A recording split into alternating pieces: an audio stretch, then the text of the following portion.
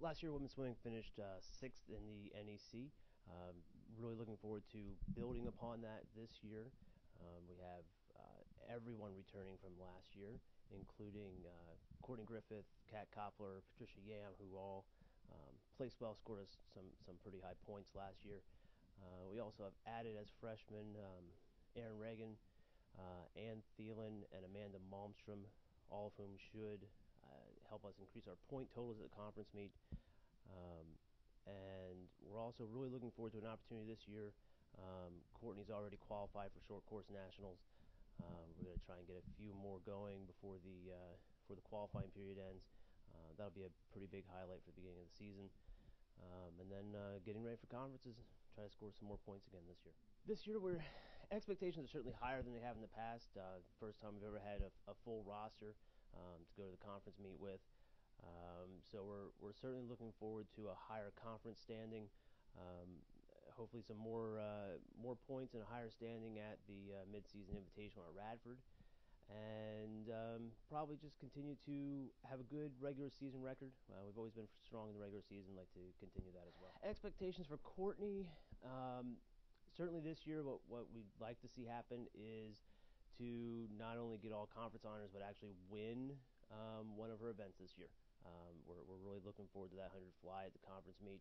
Um, same goes with Patricia. We're, we're going to look again at that 200 fly as a strong event for um, for us to have some of our, our first ever um, conference champions.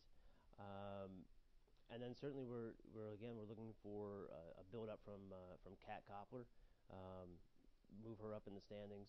I, I, certainly think that she has potential this year. Okay, we um, we're starting to schedule this year with uh, Bloomsburg University. We're doing Bloomsburg relays again.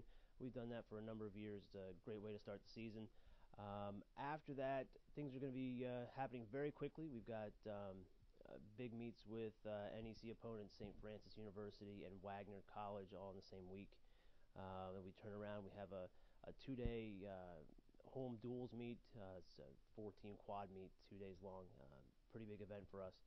Um, then we have um, a little bit of time off where we turn around and go to Radford and, and try to swim fast our midseason invitational. Um, and then it's off to nationals, and the next thing you know, it's conferences in, a couple of months after that. So it's gonna be pretty quick. Um, once things get rolling, they, they happen very quickly for us.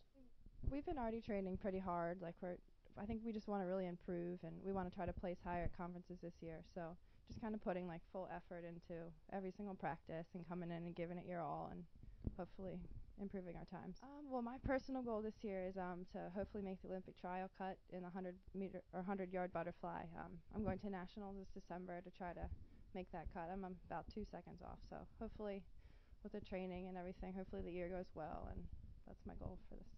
For this we have four new freshmen this year. Um, we all get along pretty well, so it's it's definitely uh, each as each year progresses, like we all get. I feel like we get closer and closer as a team, which kind of makes us. I feel like do better in the end. Like we kind of like we press push each other in practice, and uh, yeah. So uh, we we're we're a very close team.